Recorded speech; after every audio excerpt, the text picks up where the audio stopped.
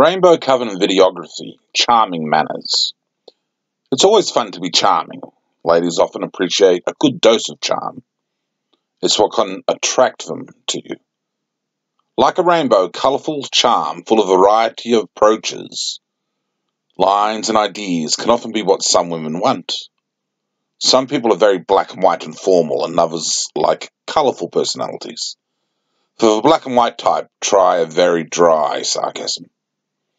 Office chicks often appreciate cynical fellas who mock well. But some like the rainbow serpent and his colourful skin and his great and charming ways of variety and clever words. Charming manners are part of mating to some degree. If you don't have something appealing to say, often she'll move on and find the right guy who speaks to her heart more appropriately and addresses her needs. Women often like the gayer elements in life, and they often like flashy clothing. It's how they like to dress, after all.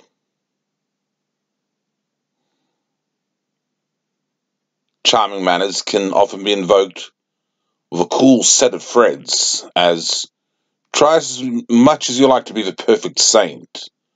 Often she just wants to be dazzled before she'll mate with you.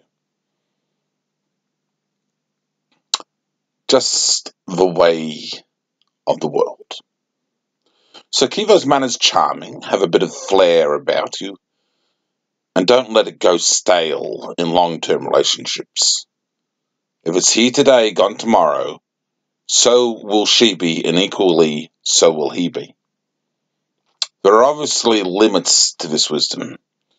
Too over the top or avant garde or grandiose, she will call you a purple peacock some of a mocking term indicating a foolishness, trying too hard mentality.